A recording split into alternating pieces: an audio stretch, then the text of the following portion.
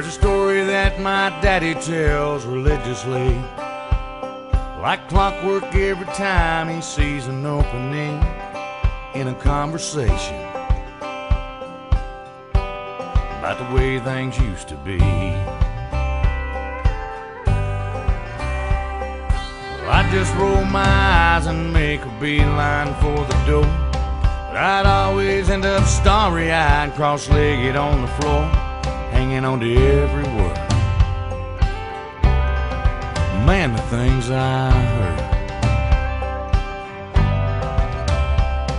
It was harder times and longer days, five miles of school uphill both ways. We were cane switch raised, dirt floor poor. Of course, that was back before the war.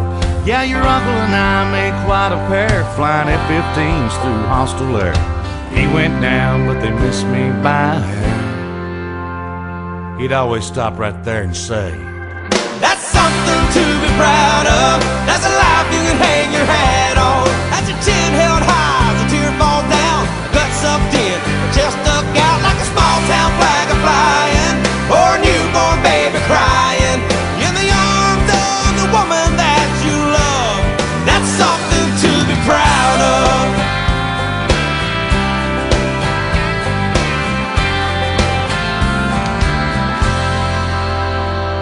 Son graduating college, that was mama's dream. But I was on my way to anywhere else when I turned 18. Cause when you got a fast car, you think you got everything. I learned quick those GTOs don't run on faith. I ended up broken down in some town north of LA, working maximum hours for minimum wage.